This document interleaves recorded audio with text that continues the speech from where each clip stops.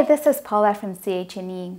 This week, we spoke with a member of a group of citizens in Chéticamp who've been writing letters to government officials. They wrote to MPs, MLAs, ministers from both levels of government, and more. Their goal is to have this year's crab and lobster fishing season remain closed, as they feel it would create a great risk of spread of COVID 19 in the community. We do have a group of people that um, just showed concern, I guess, via social media, via Facebook, and led by a citizen of Chéticamp who knows the destruction that opening the fisheries could cause to our community. He's worked in the safety of the fishermen for many years and um, it was quite evident that he was to step in and help us help the community. So that's exactly what we did. We just rallied by seeing each other's comments. We knew that these people could work. We could all work together.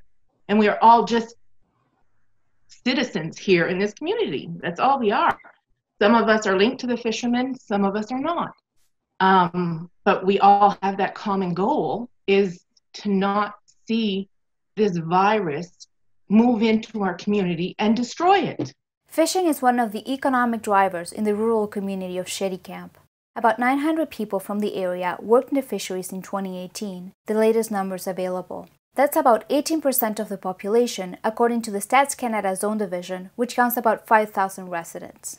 759 people worked as self employed fishers in 2018, and over 100 at the local processing plant. Not to mention the out of province fishers and plant workers that will come with the opening of the crab season set for this coming Friday, April 24. Fisheries and Oceans Canada has yet to announce a decision on the lobster season.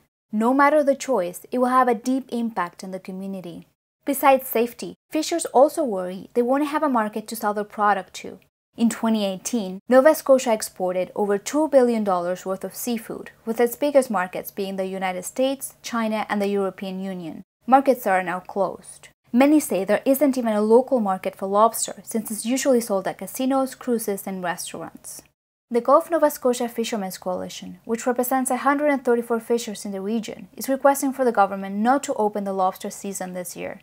Because of the seasonal nature of the trade, the coalition wants an aid package that would cover fishers for the whole year instead of the four months offered by the Canada Emergency Response Benefit. We have been uh, formed a subcommittee and have been dialoguing with PEI in New Brunswick uh, to see what possible package we could put together that would fit within the programs that the federal and provincial governments have now, and uh, and see if there was a, an option uh, other than fishing.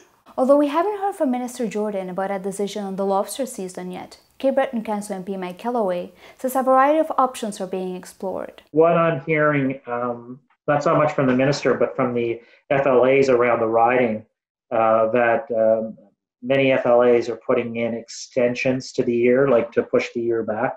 That's what I'm hearing. Um, when it comes to the uh, minister, uh, I've written now, uh, I think, two rather detailed letters to her um, that she has responded to me, that she's received them in terms of recommendations in terms of uh, other items related to the fishery, other measures that I think would be helpful to the fishery for those that want to fish, but those that, for health reasons and economic reasons, would like to have an option to not to fish. Uh, so I've, I've, I've sent that to uh, both the Minister of Fisheries and the Minister of Finance. And they've both acknowledged uh, the letters. A decision on the matter is expected this coming week. Keep sending us your questions at chne.television at gmail.com. Thanks for watching.